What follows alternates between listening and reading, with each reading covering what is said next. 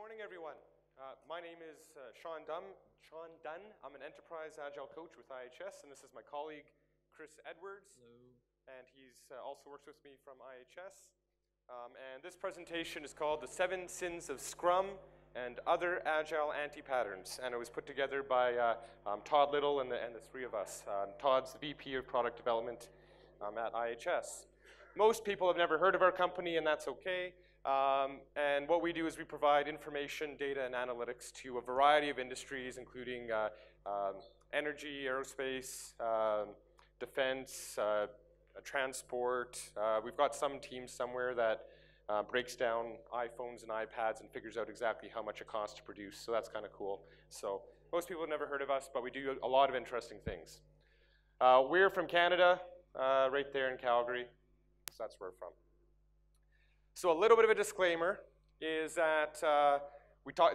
This is the seven sins of Scrum, uh, but there's not there's not actually exactly seven.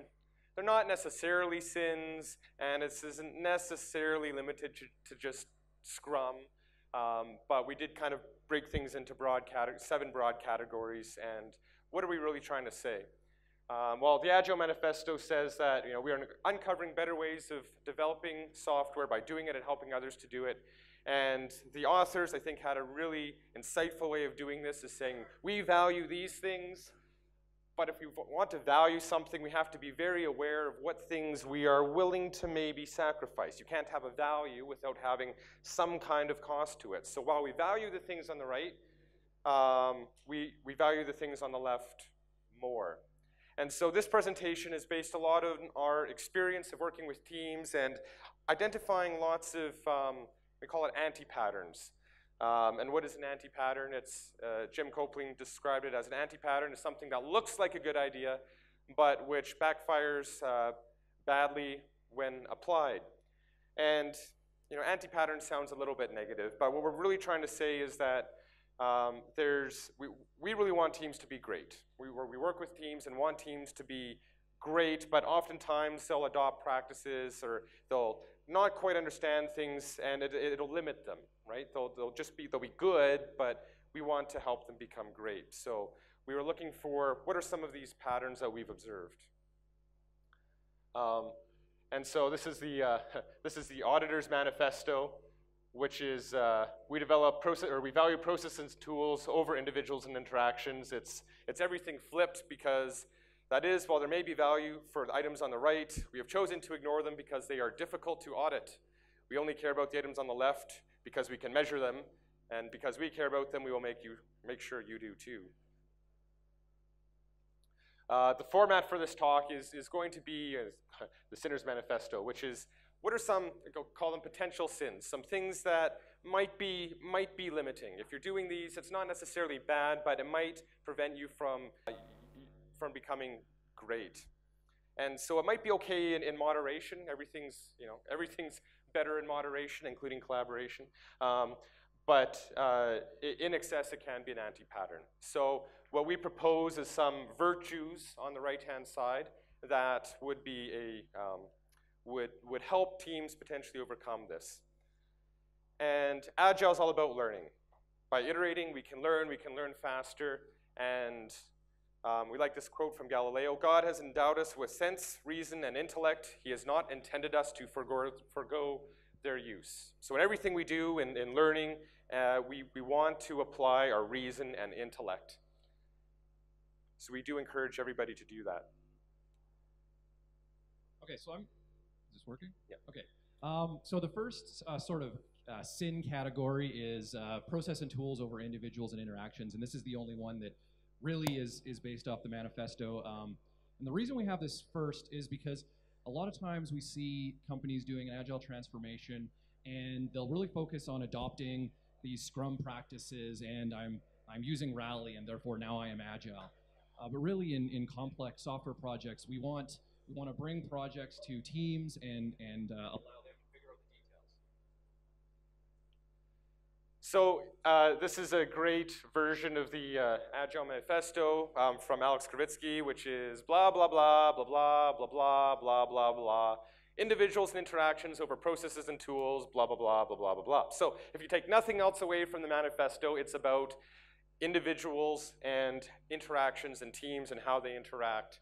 And oftentimes we somehow get, this gets missed. You know, we, we, we get kind of focused on um, how do we, you know, how do we implement the tool? Yeah, so are, are we focusing on the tool itself, or are we focusing on how does the tool enable our agility? We understand the underlying principles and practices that go into that tool. Um, an example, I'll take an example. So yeah, the, an often one we see is, is like, okay, agile transformation. Okay, let's roll out a new tool, and then everybody becomes really, really hyper-focused on how do we use the tool properly. You know, we need to be using the tool the same way. We really need to be, you know, teams need to be using the tool now, as opposed to really understanding, you know, what agility means. And all these tools and processes are all in support of agility. They're not a means to them. understand why I have stand-ups, and I understand why I'm having retrospectives, or am I just going through the motions? Uh, maybe not, maybe missing the point.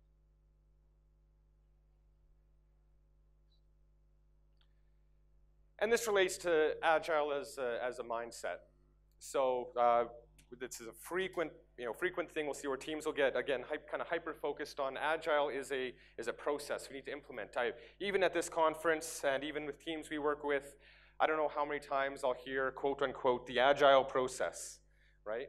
And that, that usually causes a funny reaction on my face. Um, and it's, it's really helping teams understand that it, it is a mindset. These are values.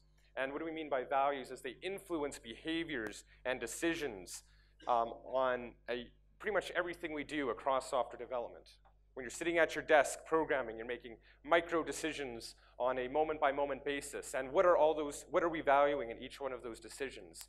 And it's the values from, the values and principles from the manifesto. So it's understanding that these values really um, per permeate you know, all of our behaviors and decisions and actions throughout our work. So has anyone ever been part of a committee or group that uh, was there to define some best practices for the company? So the word, I don't really like this word best practice because it, it, implies there's no better practice. We've already arrived at the best practice. And it also kind of sounds like, well, every practice, this practice is good for everyone. You know, we have different contexts. Maybe one team is, is co-located and the other one's distributed. So how, how can we say that, that uh, this same practice will work best for both teams? So like Sean was saying, if, if we start from the values and principles, and see are these practices enabling us to you know deliver frequent value to our customer um, then then really we can we can find uh, what works best in each situation and I mentioned at the beginning that Agile's you know, all about learning, right? So what kind of value does that communicate to your organization where we say, we need to implement these best practices that have been somehow figured out elsewhere? right? That, that's hugely disempowering, where it's like there's, there's experts out there who've developed these best practices and we just need to implement it. The thing that really resonated with me when I really started understanding you know, Agile and working with Agile companies was, ah, I can contribute. I can discover new things. It's not, it's not a society of experts who have discovered everything and I just need to follow what they're doing, but I can be a contributor to the expanding body of knowledge. That's a, yeah. a hugely empowering environment to be working in. Yeah, mob programming, uh, uh, Naresh doesn't like it, but uh, that's fine. Uh, it was invented or discovered by a group of people doing everyday work, uh, slowly uh, looking at what they're doing, trying different things. you know, we're all growing and involving our agile our agile mindset and processes and discovering new and better ways of doing things. So, and whether you agree with mob programming or not, um, it was uh, invented by uh, invented by Hunter, and it works for them, and it works for them in their context, and they discovered it through experimentation. And the really interesting question is, what was it that enabled them to experiment with things. Like, what was it in their culture and their way of doing things that actually allowed them to come to new discoveries? Forget about what the discovery was or whether you agree with it, but that they came to new discoveries on their own.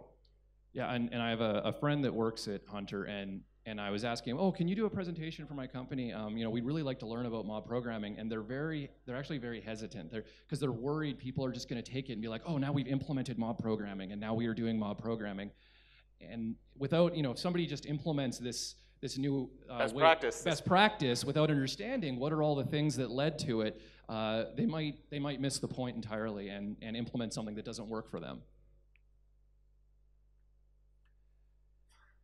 And I think we covered this, is the idea of one size fits all versus context. So believing that we just have to take, you know, Scrum as it is out of the book or Kanban as it is out of the book and it will fit in all situations, in all environments, but really teaching teams to appreciate the context within what they, within uh, their work environment and how to really understand and assess all these different techniques and tools are out there and how they may apply or may not apply within their own context. All right, status overflow of value.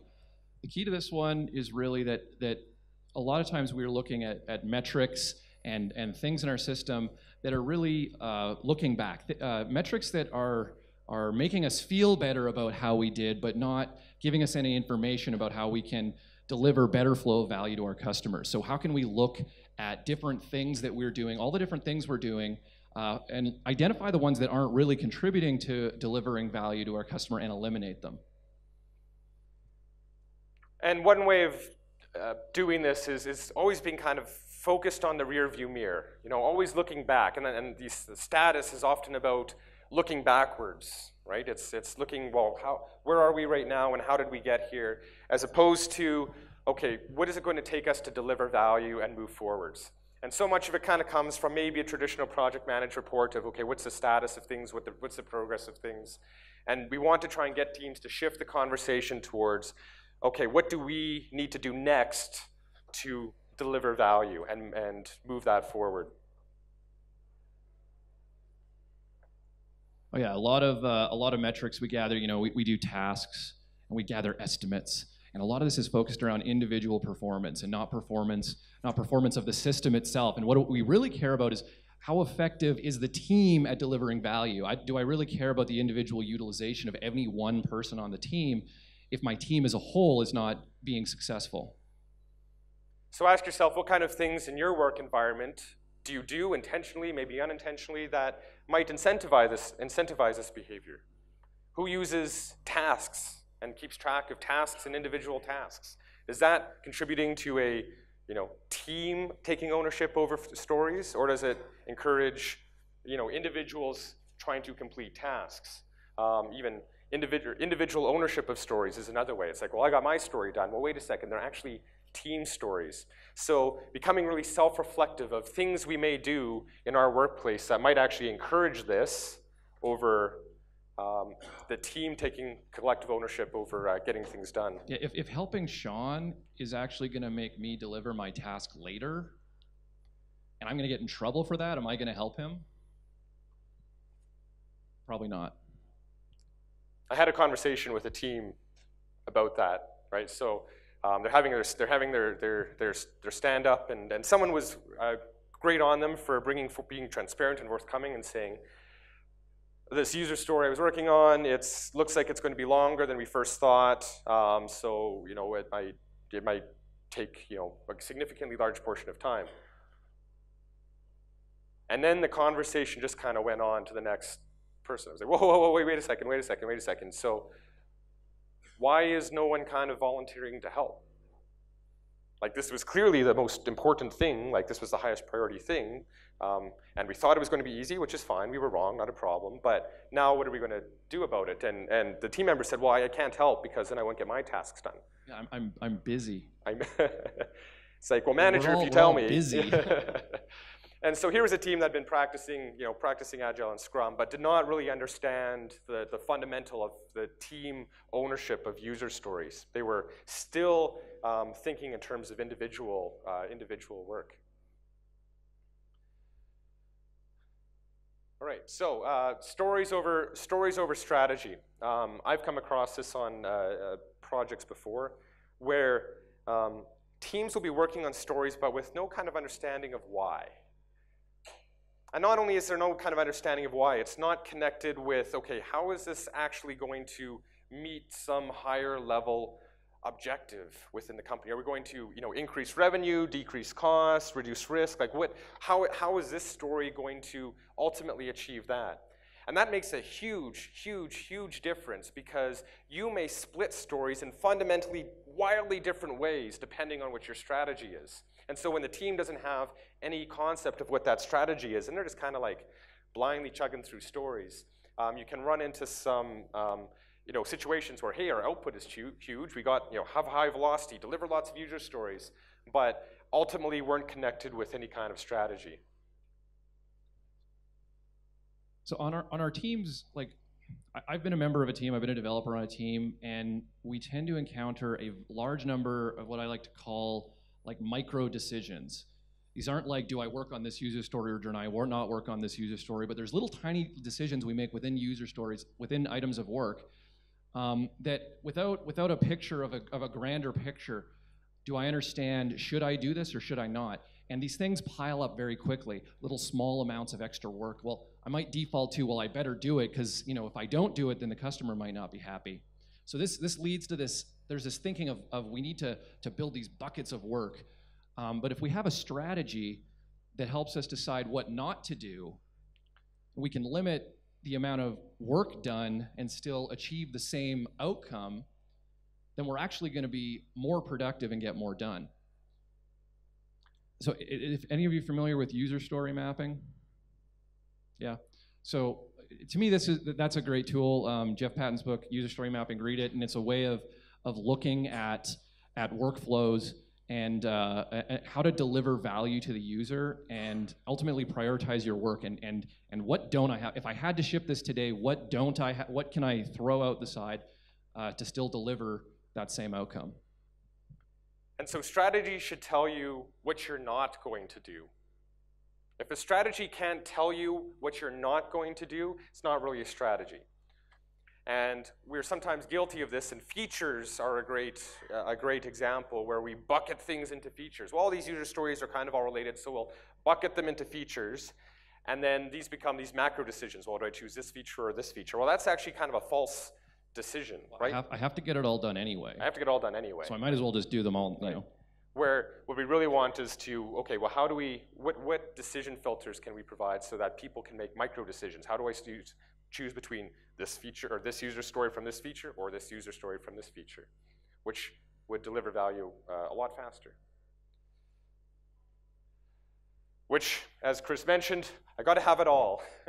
this all or nothing, this all or nothing mentality um, over the idea of having minimum viable products. And We've seen development teams who've been told, well, you got to have it in the, we got, we're not going to release until we get this all done. You know, product management will say, we can't release until we get this all done. And then that leads to very lazy thinking and very lazy prioritization. And then guess what? Inevitably happens. They change their mind, and you're partially way through, and they're saying, we need to ship now. Can you have two top priorities? No. and so we,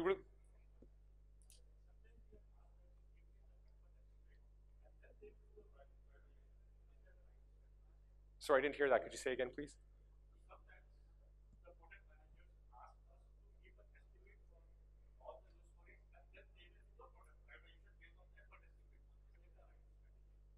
Okay, that's um, maybe we'll talk afterwards because I just want to make sure I understand your context correctly before I give a simple answer to that. So yeah, great question. It was um, if a product manager asks for an estimate for a big thing, and then we give them an estimate and they build some plan off of that. Is that the, you know, how do you, what do you do in that situation, right? So um, yeah, if we, if we could talk afterwards, I'd like to understand your context. Thank you. I touched on this a little bit, um, this idea of focusing on tasks versus stories. So tasks are a great thing uh, if you're uh, really into micromanagement. Because I can track people's hours, I can, I can look exactly what their output is, did you, did you meet your estimate? You said this was going to take five hours and it took you six. What happened there? so th- this leads to focusing on individual output, individual performance, rather than team performance. Which, by the way, you can do with stories. I've seen I've seen teams that that uh, you know here's Sean's story and and here's Shane's story and and here's Chris's story. Um, so you can still get this with um, but I, I, think the idea here is what we really want to focus on is team value delivery. How are we as a team delivering value? So I, I would actually encourage anyone here who does tasks on their team, run an experiment. just try not doing that for a while. Let the team figure out the details.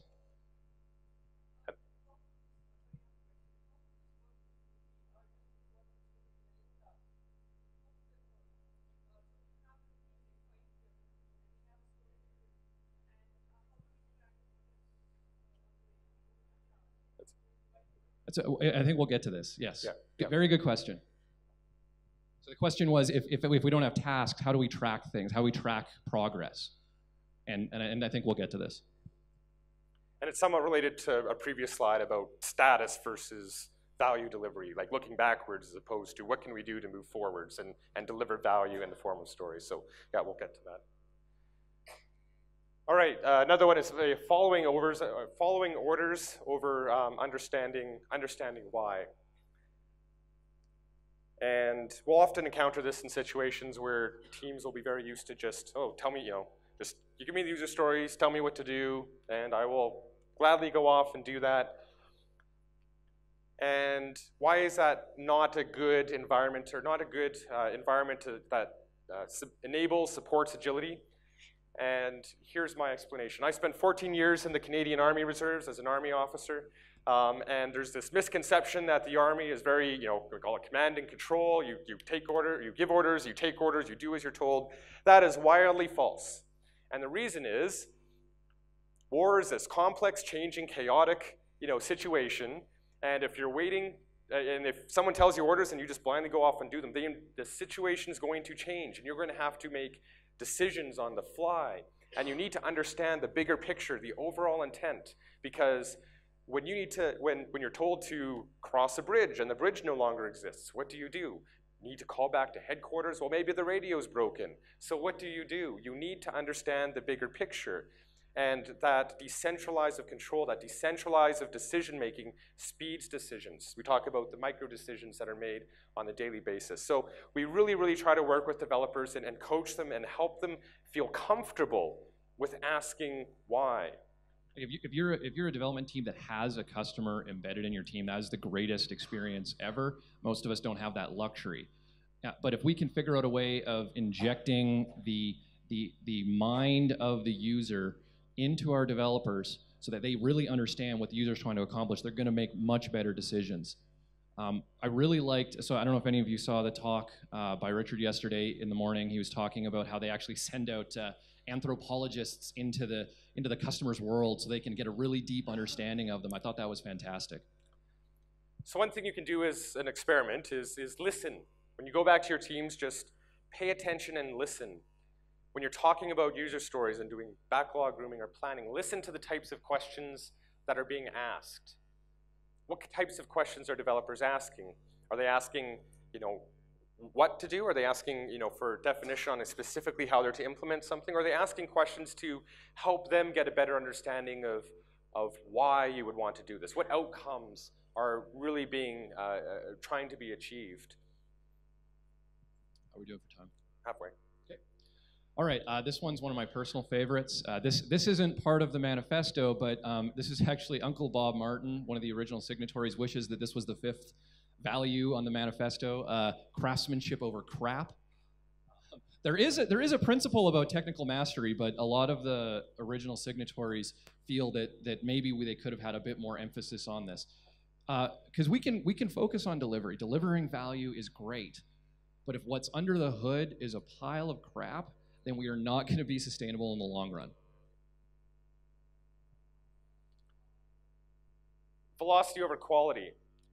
Um, lots of teams have this belief that, okay, our job is to increase velocity. Velocity is this thing that we can just improve and improve and get better. And in fact, if we're not increasing velocity, somehow we are not doing well as a team. We're failing as a team if we're at least not increasing or if our velocity is wildly varying.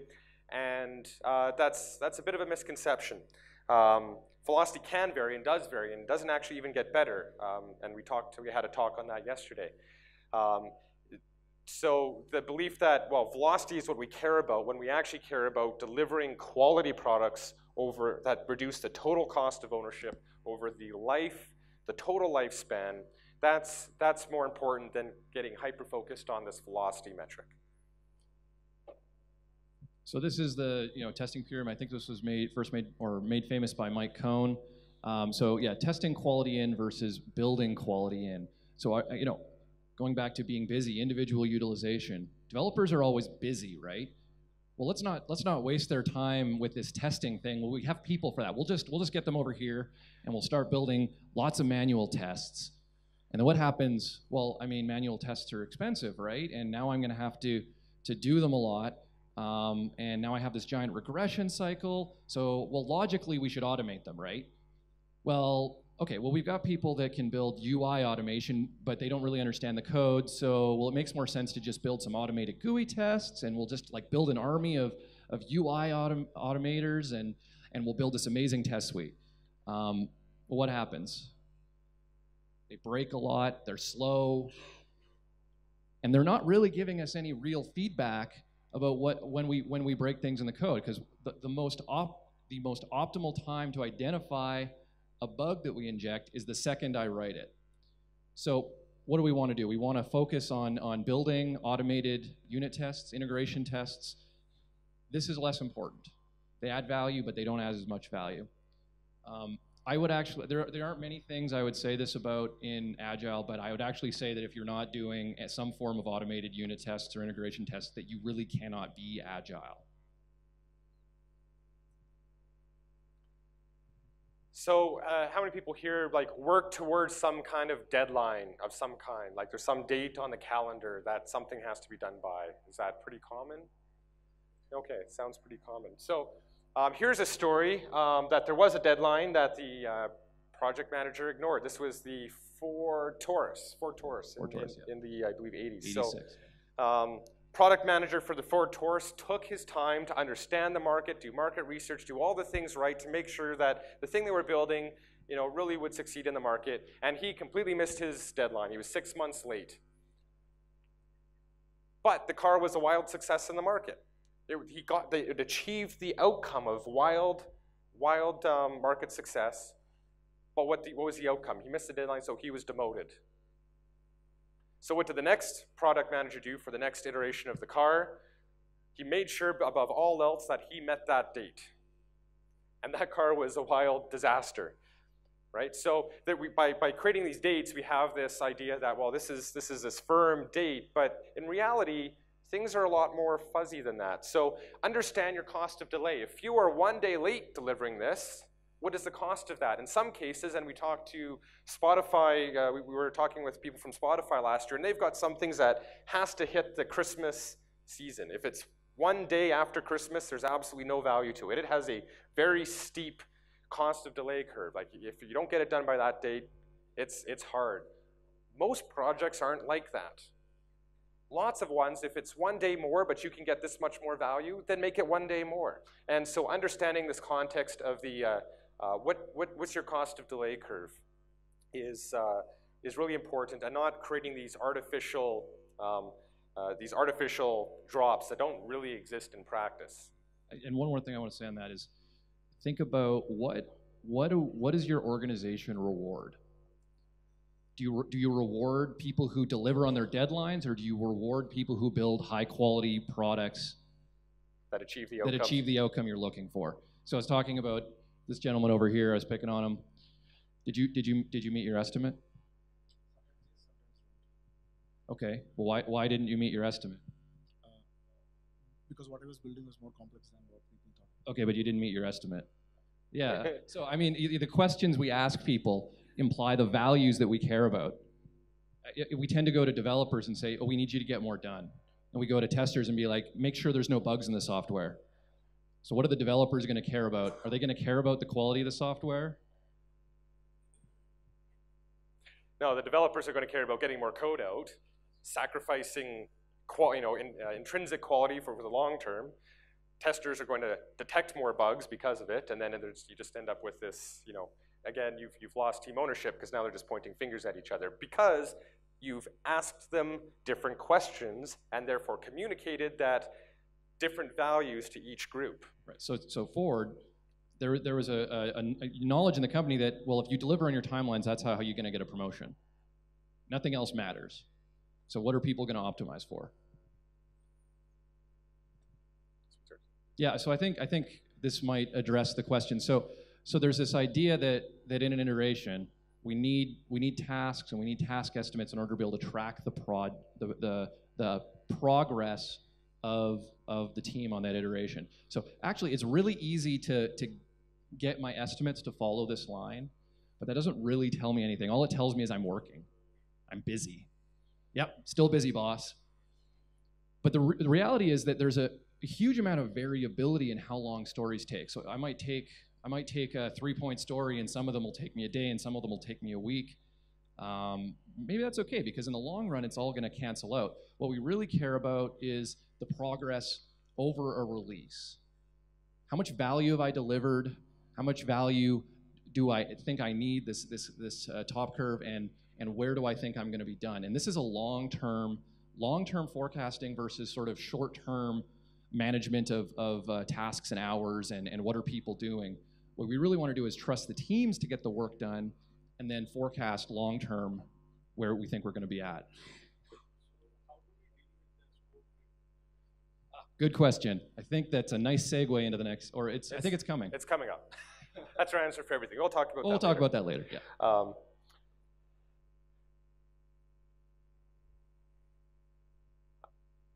so another aspect of this is, is um, I think we kind of covered this, fo- uh, focusing on commitment, and we need to make commitments, and commitments are the most important thing. Well, does commitment have any correspondence to what it means to be like motivated and doing the right things? Uh, we really want to be focusing on value. Or does everybody have the same idea of what value is? And are we all at every moment doing the right thing to be focusing and generating on value, generating value? Um, and, and commitments can influence decision. And we talk, like, talked about fixed scope, fixed schedule. Those are all things that we can do that can influence decisions. But are we influencing decisions in the way that we want? Are we influencing the right decisions? The right decisions. Has anyone been in a, you know, you work in an iteration um, and you're getting near the end and, okay, I don't want to start a big thing, so I'll go hunt down the backlog and I'll find something small and I'll work on it. What if that's like a really low value thing? Am I just working on it? Am I working on it because it's valuable to the client or am I working on it because I'm going to meet my commitment and if I don't meet my commitment, my boss is going to get mad at me? Iterations are artificial. We invented them. we made them up. And that does not say they're not useful, but understand what they're useful for. Because you can also use them in ways that influence decisions in a, in a way that's suboptimal. Why would I Yeah, we're not saying iterations are bad. What We're we want to think is how are these iterations, how are these commitments influencing our decisions, and do we understand um, whether or not that those are the optimal decisions? That? Um, okay, I think I think we kind of touched on this a bunch. This idea of capacity planning, which is all about looking at individual utilization. Um, what we really care about is team performance. I don't think we need to say anything else on that. All right, so the next category of sins is uh, this category number six, which is illusion over reality. So, what kind of things are we doing to fool ourselves?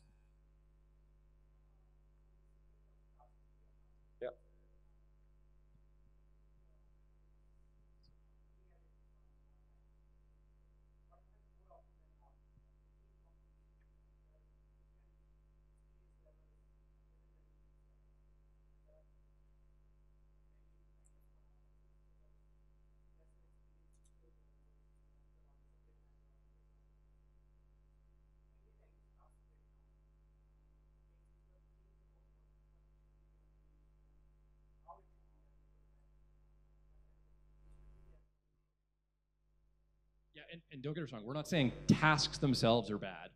They can definitely be used for good.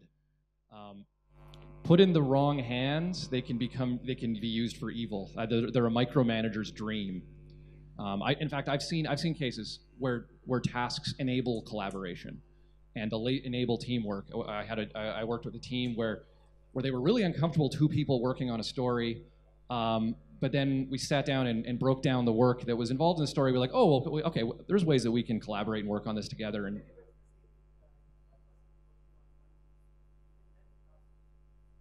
yeah, yeah, I, definitely, there's value to them. Absolutely.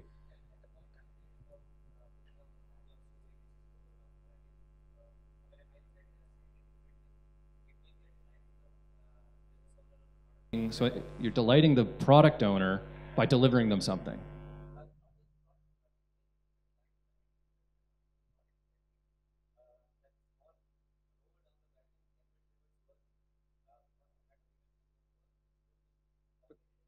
I, I'll, I'll, I'll, I'll challenge you and say, but there was something much higher priority that was next on the backlog, and you had an opportunity to get a one day or two day head start on the next highest priority thing that the product owner determined was the next highest thing. So.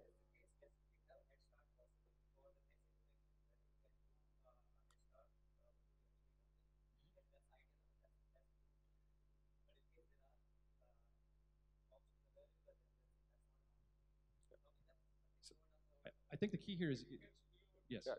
Yeah.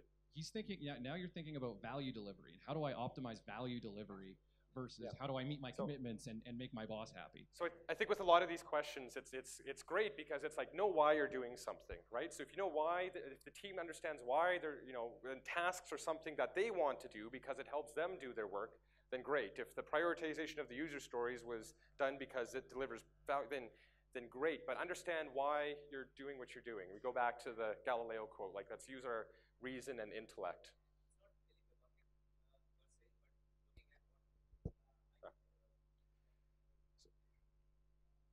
Great questions. Um, this is yours. Okay, so there was this comment about okay, if we're if we're not do now that we're doing this sort of this is a is everyone familiar with release burnups, not iteration burnups? Is anyone not familiar with them? Good. Okay, so so a lot of times we'll do the the release burnup, and we'll for, we'll get some kind of velocity on here, and we'll look at okay, how much how much how many user point story points do we have left to deliver, and I will sort of draw this horizontal line, and then I will forecast, and this is when I'm going to be done. If you look at this chart, we have this continual scope creep. It's kind of growing along the time. Just as we've been delivering, the amount of scope that we have left has been increasing. Um, I, I don't think scope creep is inherently bad. Uh, we- we're always discovering new value that we think we need to deliver. What's important is that th- this the cost of the scope creep is not put onto the development teams.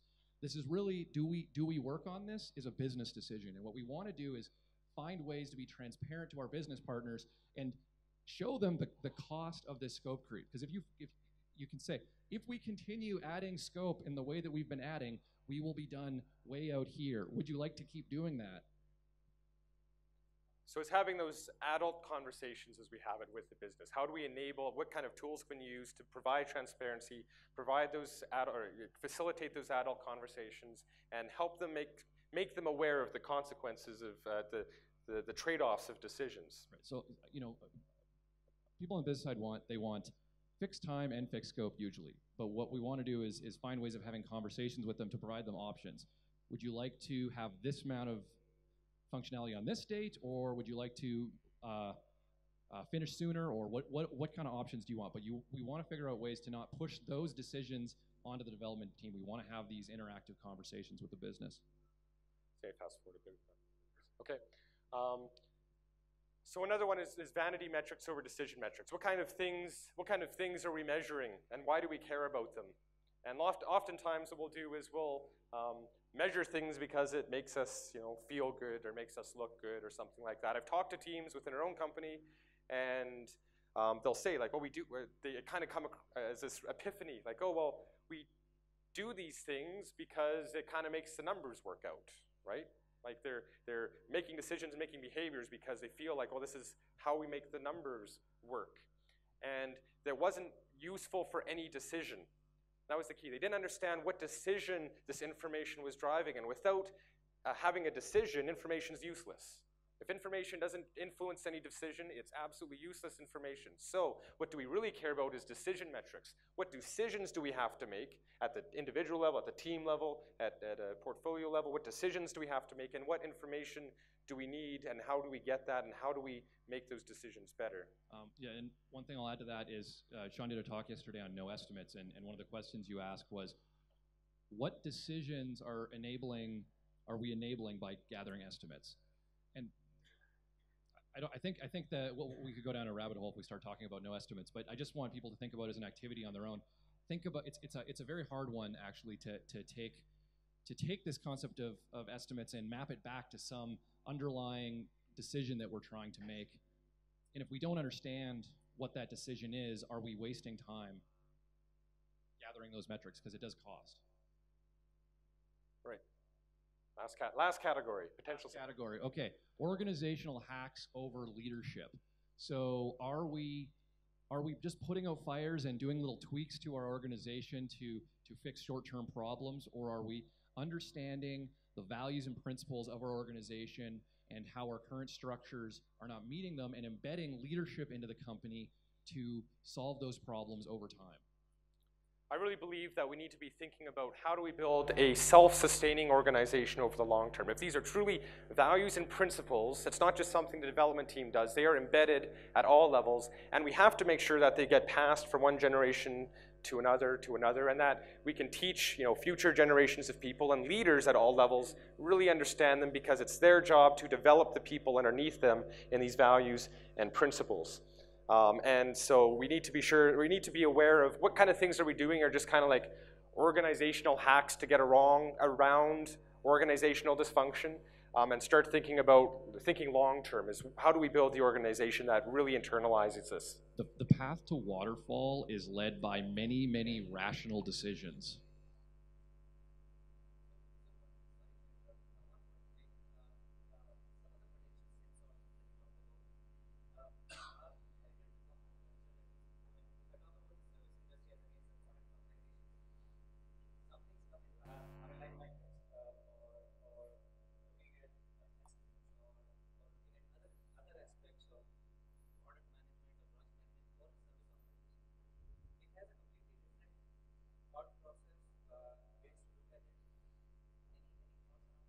I think I, I think I'm going to need more um, details of examples, but maybe we'll take that offline afterwards. Yeah. We've just got a couple minutes left, so we'll just quickly go through um, some examples of organizational hacks for leadership. And, and one is controlling input, micro, micromanagement.